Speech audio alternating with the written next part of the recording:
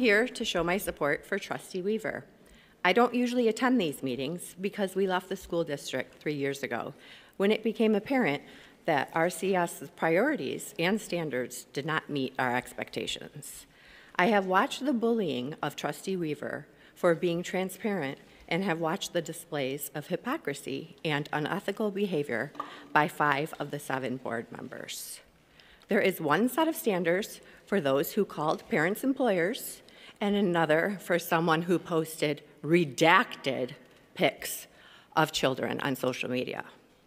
In 2000, uh, in November of 2022, a RCS parent and chaperone posted pics of students playing on poles at Nikki's Lounge during their field trip. I waited almost two months before I posted those publicly on my Facebook page. It went viral with over 900 comments and over 700 shares. The investigation noted that I posted this after Trustee Weaver. This was incorrect. I wonder what else was incorrect. While I do empathize with the administrators who received threatening phone calls, none of that warrants this complaint against Trustee Weaver.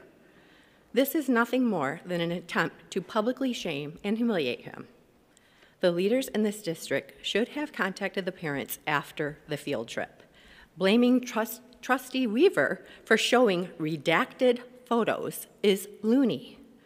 Even a parent spoke tonight with a child on the field trip and she didn't agree with his censure.